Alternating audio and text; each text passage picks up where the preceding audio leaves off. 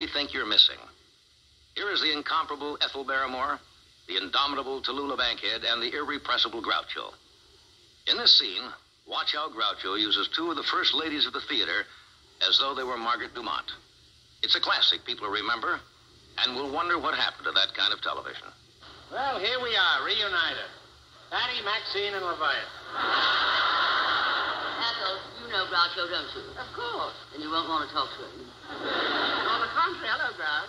Hello, Ethel. I loved you in that sketch. You were marvelous, pretty marvelous. That's supposed to be Tallulah. Oh.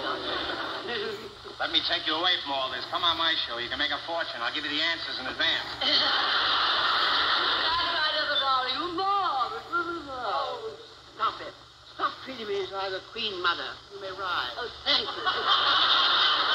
Get up, Groucho. Enough kidding about. Who's kidding? Help me up.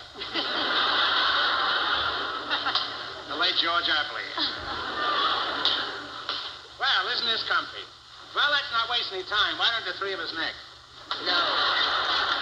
That's the first time I ever enjoyed saying no.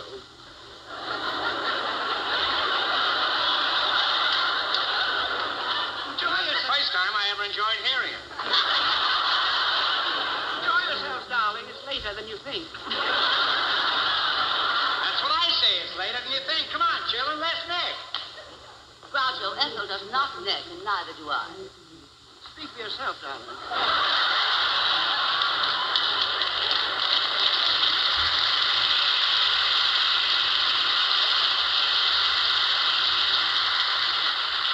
Miss Barrymore, please. We are trying to keep this program on a high plane. Oh, that's right. I'd like to be now on a high plane going back to... Would you girls mind if I lowered my voice into the conversation? You stay out of this. You're the cause of all this. Whenever you're around, it's always talk, talk, talk, talk, talk. Why can't you learn to relax and give someone else the floor? Okay, you take the floor and I'll stay on the couch. Now,